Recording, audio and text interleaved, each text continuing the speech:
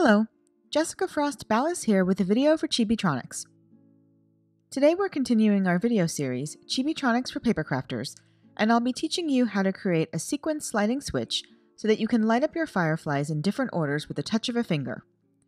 We will use the same firefly card design with different circuits so that you can see how to create totally different interactions with the same design.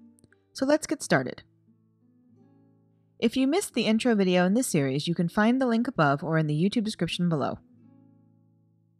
To start, I use the template I created in the first video to trace the holes of my card panel onto an A2 panel of white cardstock. Then I center the craft stencil over each traced dot and trace the outline of the sticker. This time I make sure the positive line of my stencil is on top and the negative point of my stencil is on the bottom for all three outlines. I label my stencil outlines as a reminder that the positive is on top and the negative is on the bottom. Next, I use a scoring board and score the bottom of the panel at 1 inch. I fold the cardstock along the score line and use my bone folder to get a really good crease. Then I draw a vertical line from the negative point of my stencil outline to the score line for each outline.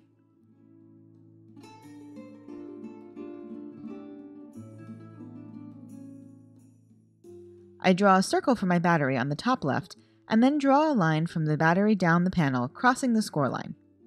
I make a 90 degree turn about halfway down the bottom portion and run that horizontal line along the bottom of the card.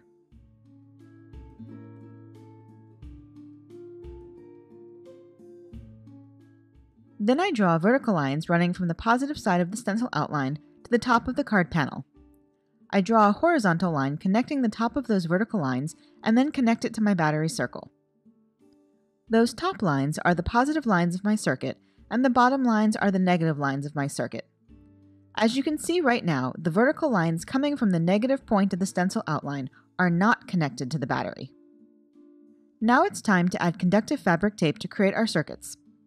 I start by adding vertical lines leading from the negative point of the stencil outline to the score line on the card panel, and vertical lines leading from the positive side of the stencil outline to the top of the card panel.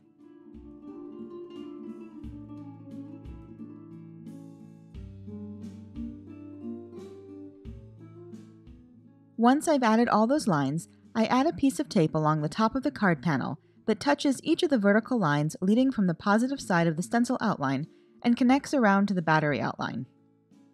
I leave a little of the backing paper attached to the tape here as it will be adhered to the top of the battery. Then I add a piece of tape along the bottom of the card panel, following the line I traced. That piece of tape makes a 90 degree turn and connects to the battery outline.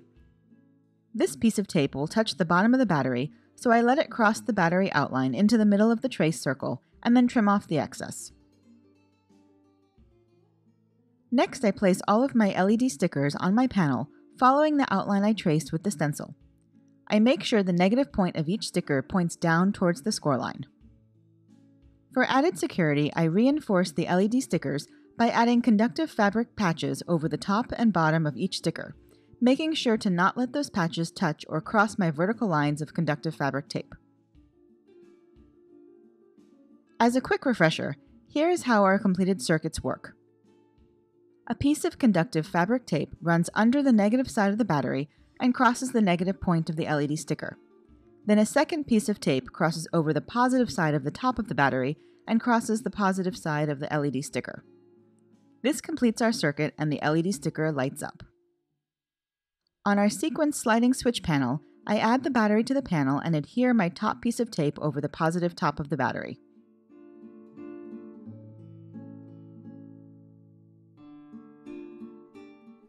But because the negative vertical lines running from the negative point of the LED stickers don't touch the line of tape running from the underside of the battery, the circuit is not complete so the LED stickers don't light up. To complete the circuit, all we need to do is fold the card panel along the score line. When the piece of tape on the bottom of the card panel touches those negative vertical lines of tape, it completes the circuit and lights up the LED stickers. Now the fun part of this switch is that the LED stickers will only light up when you press the scored part of the panel to the tape to complete the circuit. As I've shown before, I add my Firefly panel using magnets because this is a template I'll be using over and over again for this series. If you were adhering this to a card base, you'd adhere the circuit panel to your card base, but do not apply any adhesive to the bottom scored part. That would be folded, and then you'd adhere the Firefly panel on top with a thin layer of foam mounting tape. Again, you would not apply any adhesive to the scored part so that it can be pressed down and released to complete the circuit as desired. And here's another look at the card with my desk light off. You can see how the fireflies come alive with the movement of your fingers. It really makes for a fun, dynamic, and exciting card design. If you slide your finger along the scored part, the lights will light up in order as your finger crosses over the vertical tape lines. If you press your finger to different parts of the circuit, you can light up any or all three of the lights in any order at any time.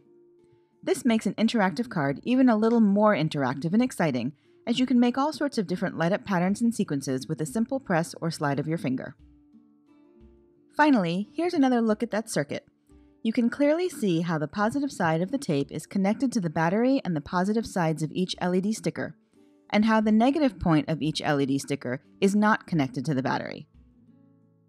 But once we fold the panel along the scored edge and press down, you'll complete the circuit and see all those LED stickers light up. This is also a circuit template that does not require a battery holder.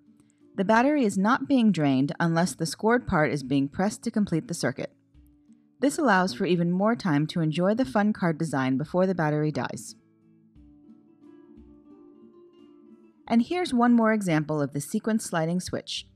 This follows the same structure but uses more lights in a variety of colors.